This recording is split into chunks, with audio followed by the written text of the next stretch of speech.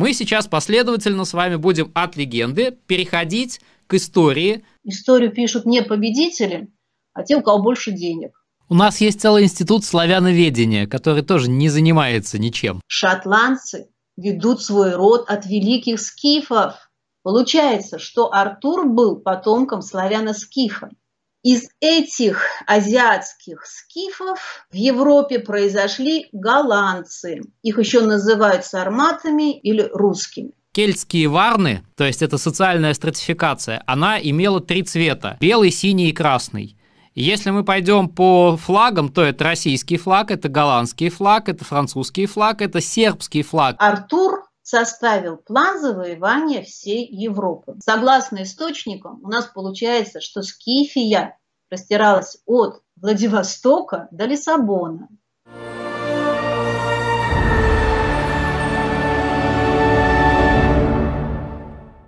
Всем добрый день. У нас телемост с Голландией, на другом конце которого Ольга Семенова, Роттердам, историк. Здравствуйте. Здравствуйте. Мы с вами сегодня, по сути, в общем-то, ну, некое событие отмечаем. Мы издаем вашу книгу. Я хотите закулисно вам расскажу, как я вел переговоры по книге? С удовольствием. Я практически всем говорил, что пока вы дождетесь, когда в Голландии появится второй а, славянский историк, который читает э, книги на древнеголландском, пройдет еще лет 150. То есть поэтому надо делать, пока не поздно. Хотя бы ввести это дело в историографию. И, в общем, собственно, мы там все напряглись и сделали. Как бы книга готова, она выходит со дня на день. Поэтому мы в качестве анонса решили записать передачу, которая является, давайте такой термин использую, спин к истории о славянских корнях Европы, о короле Артуре. Я вот в свою очередь тоже выведу некоторую картинку, потому что она является действительно для, например, британцев эта история является сакральной. А вот эта вот э, красивая картинка, она представляет из себя Гланстонберри, в аббатстве которого якобы Иосиф Аримофейский туда привез святой Грааль. Еще до того, как в XII веке, это легенда, монахи осушили окружавшие воды этого холма, они там обнаружили как раз саркофаг короля Артура. А остров до этого считался тем самым Авалоном, где жили его сестра, фея, где жил его там наставленник Мерлин, для которых это место как раз было порталом перехода в другую реальность, откуда они черпали знания, наоборот, о нашей реальности. Более того, это, это менее раскрученное место, чем, например, Стоунхендж, но а, считается, что там спрятана чаша Грааля, и там есть, опять же, вот я на снимке покажу, что есть два источника, из которого течет белая вода, а из другого красная. Там у христиан английских есть своя история о Иосифе Аримофейском и с чем это связано. У там британских язычников есть другая история, что это все дохристианское, как бы, да, но тем не менее одни и вторые крайне там почитают это место. Более того, в этом месте в 1921 году, скажем так, осенило Такое бы я слово назвал, потому что он сам его использовал, это слово. То есть э, у него появилось некое озарение. Альфред Уоткинс, британский археолог, пребывая там, неожиданно понял, что всю Землю пронизывают некие световые линии, я вот рассказываю, потому что его тогда высмеяли, хотя он это пытался и публиковать и так далее. И одно из мест, где соединяются там световые линии, как раз является Гланстонберри, где якобы вот проживал там король Артур и все остальное. Это легенда. Мы сейчас последовательно с вами будем от легенды переходить к истории, которая, скажем так, ее же называют темные века – их там темные, потому что про это ничего не известно. Вот мы их будем там потихонечку озарять, как это было у археолога Альфреда Уоткинса. Спасибо, вот это мое такое вступление. Ну вот эти два источника очень напоминают славянскую живую мертвую воду. Но действительно, давайте перейдем к вам с вами от э, каких-то легендарных вещей к более конкретным э, источникам, доказательствам. И да, расширим немножко тему. Действительно, истинное прошлое э, короля Артура, и э, истинное прошлое, оно жиждется на, тем, на том, кем были предки короля Артура, и более узко, кем мог быть или был отец короля Артура, то есть родословная легендарного короля Артура. И построим мы сегодня нашу беседу так, а, тоже в сказочной форме, немножко, а, потому что, а, раскрывая нашу тему, нам придется цепляться а, а, цепочечкой, значит, а, одну за другое. И э, попробуем мы сделать так тоже в сказочном э, варианте, как я только что сказала. Э, найдем сначала то волшебное дерево, на котором, который с золотой цепью, мудрым котом, на котором висит ларец. Из ларца достанем зайца, из зайца утку, яйцо. И в конце концов скроем истинную историю, историю короля Артура, ну а, между прочим, и нашу общую с вами историю. А, начнем мы поиск вот этого дуба, основы, э, вот этого фундамента, на котором будет строиться наша сегодняшняя беседа, с двух э, голландских хроник. Эти хроники совершенно неизвестны отечественным историкам, э, и более того, не переведены, безусловно, на русский язык, поэтому, в общем-то, сегодня вы будете, друзья, знакомиться с совершенно новыми источниками, новым материалом. А, эти две хроники называются Катендайская хроника и эм, Гаутская хроника. Значит, Катендайская хроника, самая древняя, относится приблизительно к 1420 году, и она была составлена для э, супруги одного из правителей местных земель. Сейчас она находится в частной коллекции в семье Кадендайк, отсюда ее название. И с середины прошлого года э, эту хронику хозяева, скажем так, передали э, Голландской королевской библиотеке, где она сейчас и находится. Эта книга никогда не печаталась, она находится исключительно в дигитальном оцифрованном виде, и э, я вам буду сейчас немножко показывать из нее скрины, чтобы вы имели представление с э, подчеркнутыми или обведенными ключевыми словами. Вот приблизительно так она выглядит это ее обложка и внутренняя сторона. И я сразу начну цитаты из этой книги. Цитата первая. В те времена, когда Брутус землю Альбион захватил, множество великанов и гигантов на большом количестве кораблей оттуда бежали в море. Они пристали к дикой земле Сасан, Саксах, что теперь зовутся фризами. Они там сразились с жестокими людьми, и сасы их разбили, прогнали. Они опять отправились в плавание и пришли в то место, где сейчас Флардинген стоит. Это современный город Флардинген, он существует до сих пор. И высадились там и остались жить, так как это было место у воды. И построили там замок, что Слафенбюрг назывался. Рядом со Слафенбюргом стоял большой лес. И это было первое завоевание Голландии. А на скрине вы также можете видеть основные ключевые слова. Слова, э, слова Слафенбюрг и первое завоевание Голландии. То есть Катандайская хроника утверждает, что Голландия появилась как Голландия именно с того момента, как на э, этих землях появились великаны и гиганты, которые построили город Слафенбюрг и назвали этот город в свою честь.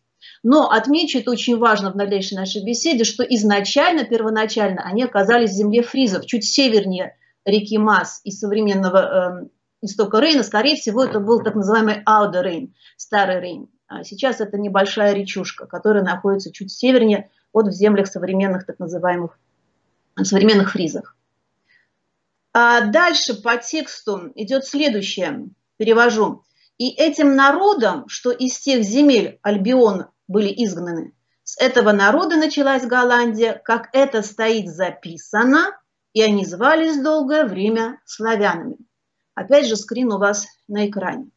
То есть эм, наш дуб – это та основа, о которой, значит, на которой будет э, жиждиться, стоять наш ответ по поводу того, кем были предки или кем был предок, ну, предки тоже, в общем-то, правильно будет, э, легендарного короля Артура. Итак, в устье реки Мас, Рейн, поселился народ, который назывался славянами, и они оказались в некотором родстве с тем народом, пока мы говорим о некотором родстве, потом мы эту тему расширим – с э, людьми, жившими на севере от реки Рейн, с людьми, которые получили позже название имя Фризы. И они, соответственно, построили город Слафенбюрг. И еще одна цитата из этой книги, последняя, и мы перейдем к следующей хронике. Дорогие друзья, то, что вы видите, это всего лишь короткий ознакомительный фрагмент, который мы можем показывать даже на ютубе, не опасаясь запрета.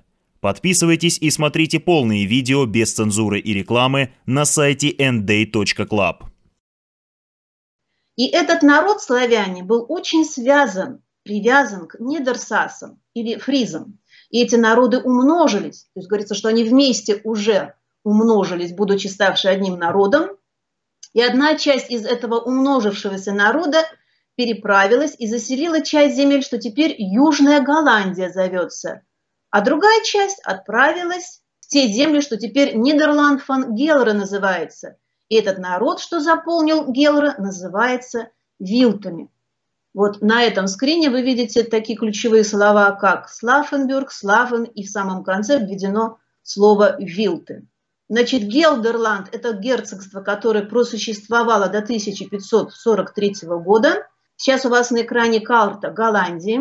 На этой карте э, вы видите стрелочкой помечено место, где был основан город Слафенбюрг. Его сейчас не существует, но существует до сих пор город Флардинген, в котором до сих пор есть улица который так и называется Слафенбрюхт. И, э, в общем-то, недалеко находится город Роттердам, кому это интересно. Синим обведены северные территории, те территории, которые занимали потом фризы.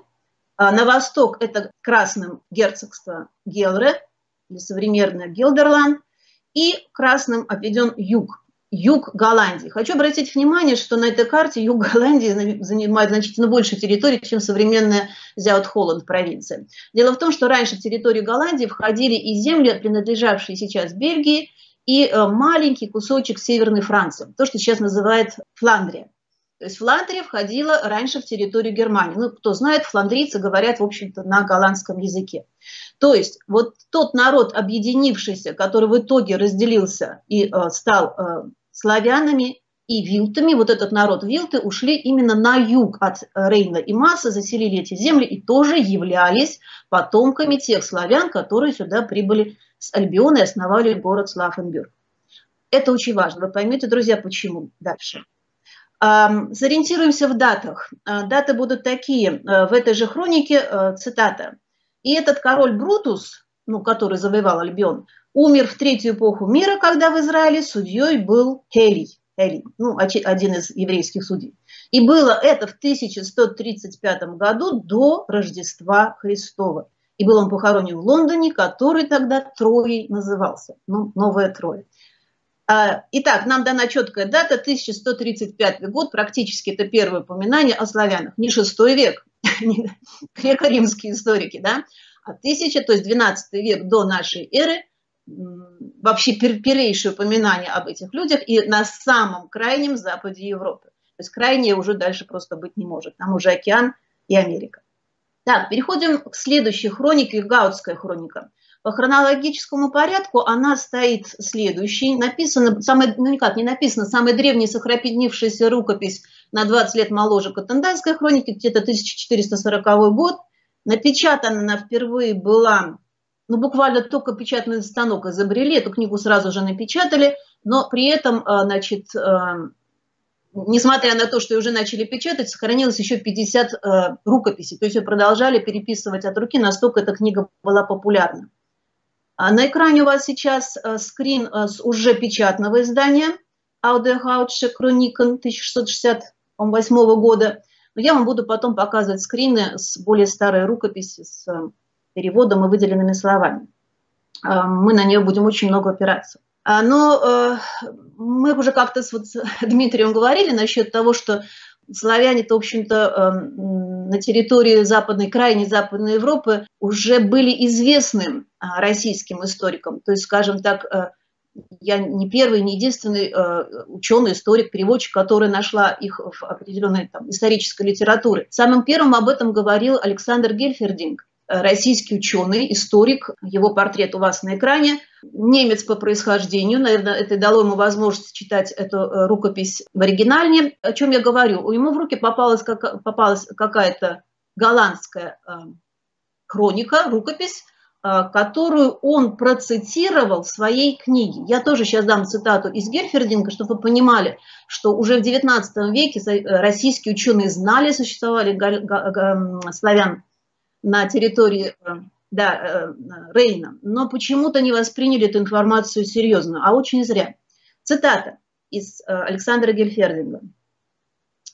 Кроме того, есть голландская летопись, которая очень часто упоминает о поселениях славян и вилтов между фризами и нижними саксами в Северной Голландии и Гельдере, и о постройке около Утрихта славянской крепости Вилтенбюрг, эта летопись составлена в XV веке.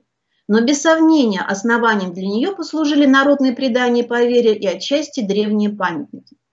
Замечательно в его рассказе, рассказе летописца, что голландские славяне обитают там с самых древних времен, и хотя воинственны, но живут в ладу с окружающими фризами и саксами. И дальше вообще потрясающая фраза.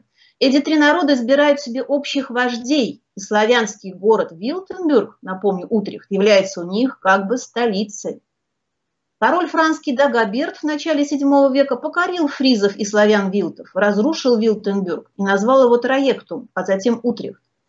Пипин Геристальский, полностью подчинив своей власти Славонию и Голландию, превратил их в область, которая получила название Восточной Франкии опять упоминание славян, упоминание Утрихта как славянского города, но здесь, пожалуй, наиболее интересна будет фраза, что Пипин Геристальский полностью подчинил своей властью Славонию.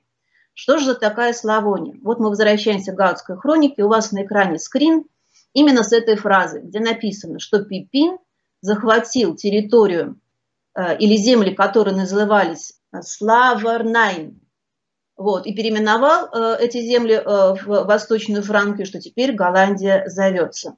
То есть на территории Голландии не просто жили славяне, более того, эти территории назывались Славония или славяне. Ну, в зависимости от диалекта буква А, О менялась местами. Таким образом, а, мы с вами выч, вы, вычленили э, основу, наш дуб, э, наша та основа, на, на, на которой строится наше повествование. Mm-hmm. На территории Западной Европы жили люди, называвшиеся славянами, построившие город Славенбюрг, имевшие территории названия своих земель Славония, которые жили в братстве и дружбе и родстве с окружающими их народами. Более того, эти народы были не какие-то там э, с неба взяты, а, например, вилки были родственниками э, непосредственно славян, о чем говорится в наших хрониках, а, а фризы, в общем-то, тоже имели родственные отношения со славянами, ибо на, именно на их, на их территориях, на их землях в свое время высадились беженцы с Альбиона. То есть эти люди породнились между собой, и фризы являли собой тоже такая смесь местного населения и прибывших к ним славян. Идем дальше. На дубе у нас ларец. Давайте мы его а, откроем. И а, в этом ларце мы найдем кельтов. Вот не удивляйтесь, а, кельты имеют непосредственное отношение к нашей теме, даже самое, что на ни на есть непосредственное. Ибо, ибо кельтами а, стали, а, точнее, этим словом греко-римские историки стали называть местное население. Местное население, которое изначально являлось и называлось скифами. Вот такой удивительный парадокс, удивительный факт. Об этом есть множество свидетельств, сейчас я вам а, приведу их, а, и вы поймете, что это не шутка. Есть такой замечательный голландский историк а, Матеус Смолиганга, его книга «Титульный лист на экране». Она вышла в 1700 году. Смолиганга был страстным исследователем-коллекционером исторических подробностей, писал свою историю Зеландии практически всю свою жизнь. Как помечает информационный источник, он умер неженатым, ибо все время был занят поисками материала. И надо сказать, что нашел он потрясающий материал. Его книга э, «Хроника Зеландии» – это просто вот кладезь знаний, но, но нам в этой книге важна другая информация. У вас на экране скрин. Я подчеркнула основные слова и даю вам сразу перевод. Значит, э, он звучит так. «А народы Италии не являются такими же такими уж старыми, в то время как Скайтен, Форхетрекендор Келтен, в то время как э, скифы прошедшие путь дальше, как кельты, пересекли Альпийские горы и заняли территории, и этот народ, будущие э, э, э, итальянцы, стали называть аборигенами. Попробую перевести на современный русский язык. Итак, кельты, которые, э, значит, э, скифы, которые потом стали называться кельтами, пересекли Альпийские горы, заняли территории, ну, получательно, Северной Италии, заселили эти земли, а потом пришедшие туда э, римляне, латины уже в более позднем понимании, встретившись с этим народом, назвали их э, аборигенами. Ну, кто не знает, абориген – это тот, кто местный, да? Аборигены или альбориги, чтобы напрямую связывать нас с э, островом Альба, это и есть потомки скифов, которые пришли перед, э, на эти территории. На следующей странице Смалиганга пишет следующее. а, цитата. «Скифы, ставшие кельтами, а теперь, так, это кимбры, значит, скифы, ставшие кельтами, а ныне известные как кимвры, заселили э, все территории, известные как Фрисландия, Голландия, Зеландия, Брабат и Фландрен. То есть мы опять говорим о том, что скифы, известные как кельты, за, за, за, заняли, завоевали, стали жить на территориях, которые непосредственно примыкают к Северному морю и Атлантическому океану. И опять у нас речь идет о скифах. Но Смолиганга был не единственным историком, который писал о кельтах как о скифах. А, есть еще такой замечательный фландрийский историк Маркус фан, фан. Он работал практически в те же года, конец 17-го, начало 18 веков. А, он написал книгу «История Бельгии». И э, э, на известных ему фактах, частности, он цитирует Помпея Трога в своей книге, он продолжает и дает приинтереснейшую фразу. Он говорит, цитата, «Скифская империя возникла спустя 131 год после потопа». Это, к слову, о том, какая цивилизация древнее, египетская или скифская, чем ломают э, многие историки копья. Еще один историк, уже француз, Симон Пелутье, его портрет на экране. А, священнослужитель, но особенность заключается в том, что он был избран библиотекарем Академии наук в Берлине. То есть у него были прямой, был прямой доступ к, к источникам. Он тоже написал обалденно интересную книжку. В 1740 году выходит его труд «История кельтов», и особенно о галах. Галы и кельты – это одно и то же, это просто разное название одного и того же народа. А особенно о галах и германцах от сказочных времен до захвата Рима галами. То есть древнейшая история исконного местного населения. И вот буквально на первом листе, на вот первой главе, опять же у вас скрин на экране, подчеркнуто написано, цитата, «Кельты были частью древних скифов». Все. Более как конкретно, корректно и доступно трудно сказать. Итак, кельты были частью древних скифов. И дальше он пишет чуть ниже в главе 9, древними жителями Греции были скифы.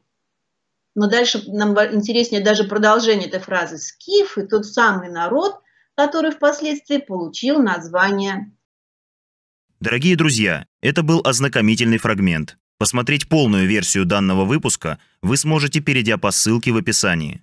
Также обращаем ваше внимание, что снова стала возможна подписка из-за рубежа.